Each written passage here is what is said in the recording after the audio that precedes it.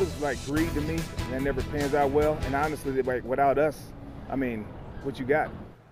GM Fairfax workers aren't on strike, but tonight the UAW strike has trickled down to send them home. More than 2,000 General Motors employees at the Kansas City, Kansas plant have now been laid off, essentially. I'm John Holt. I'm Loren Halifax. They're off the job because the St. Louis area plant they rely on for supplies is one of the three auto plants striking. Fox 4's Malik Jackson is live at the GM plant in Kansas City, Kansas. Malik, we're hearing from GM and the workers now left in limbo. Yeah, Loren and John, I talked to Brandon Crabtree, who's worked here for 21 years. I asked the father of two, what's next? He replied, I have no idea. That gives you insight to the unprecedented nature of what we're seeing across this country. As for GM's part, they say this is proof that nobody wins in a strike. The assembly line stopped, and for now, workers here at the General Motors Fairfax plant laid off.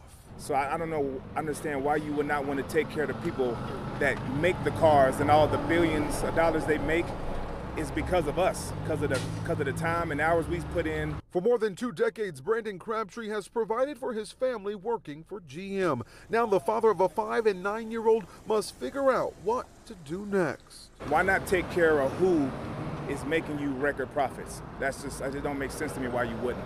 The UAW contract with GM, Ford, and Stellantis expired last week. Since then, the parties involved eye to eye and none appearing to budge as the union demands their fair share of record profits. They want a 36% pay increase plus a 32 hour work week with full pay, something all three companies say is just not feasible.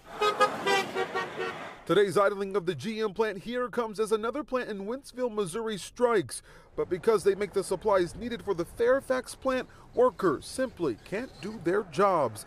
In a statement, GM says in part, nobody wins in a strike, and that effects go well beyond our employees on the plant floor and negatively impact our customers, suppliers, and the communities where we do business, such as in greater Kansas City. What happened to our Fairfax team members is a clear and immediate demonstration of that fact. For now, Crabtree says he and his fellow union members aren't being selfish. Instead, they're fighting for what they deserve. I'm, I'm ready. I've been ready because I just think, you know, we got it, we gave a lot up, and I think it's time that we get it back. It's been long enough.